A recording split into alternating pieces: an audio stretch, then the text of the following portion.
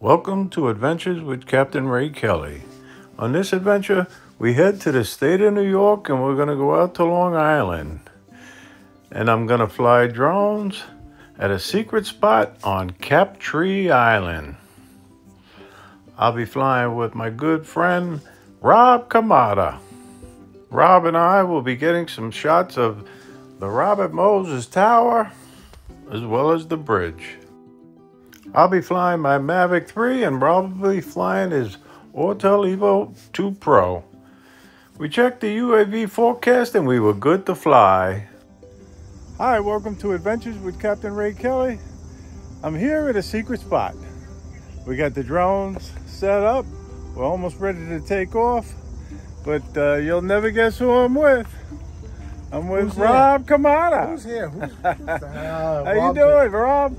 Rob's a crazy guy. I'm not. I'll tell you, I'm looking forward to flying this spot. What about you? This I haven't flown here before, so I want to get up and see what shots we can get. All right, Rob. Rob's ready to take off.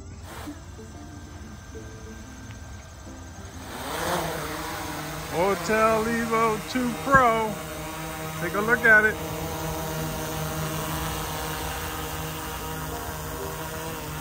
Beautiful day here on Long Island. Establishing the home point.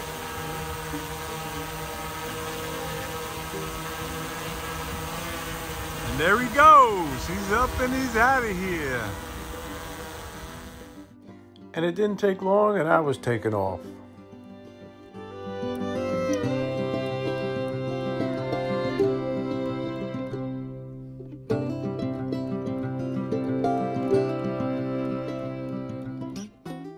And you guys know I like doing a reverse droning on takeoff.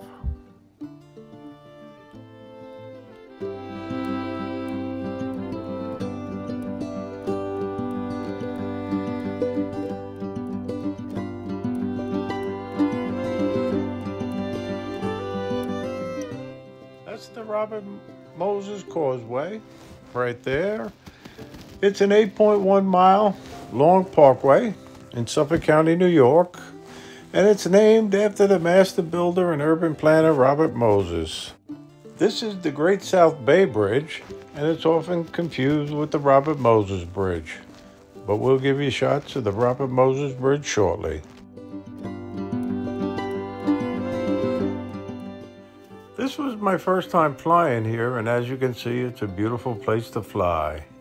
It's right outside the boundaries of the Captree State Park, which is right there. And that's the Robert Moses Bridge off in the distance, along with the Robert Moses Water Tower.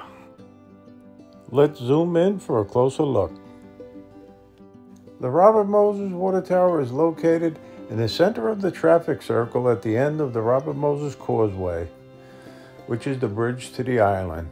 The Italian style water tower is 202 feet high and it has a well of over 1,100 feet deep. Construction on the tower was completed in 1968 and is topped with a beacon that can be seen for many miles out in the ocean. I always try to get shots of the other pilot's drone that I'm flying with, and there's Rob's Autel Evo 2 Pro. He was getting nice shots as well.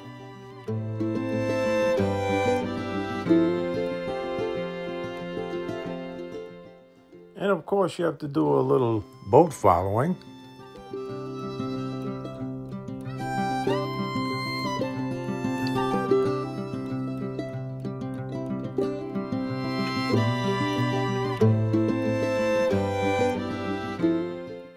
Captree Island is a cool spot to fly from.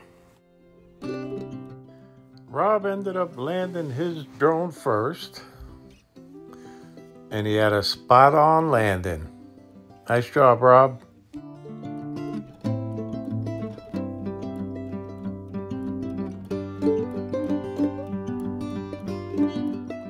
I really didn't want this flight to end, but I brought my Mavic 3 back home also.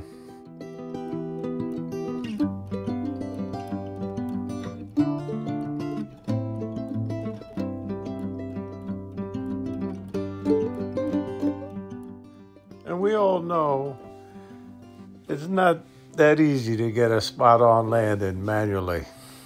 Let's see how I do.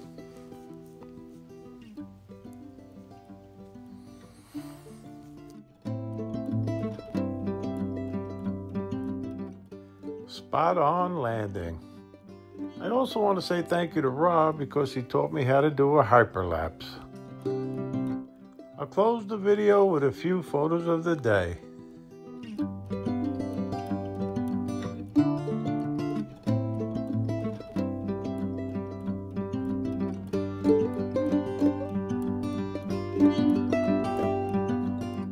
And as always, thanks for watching. Please like, share, and subscribe.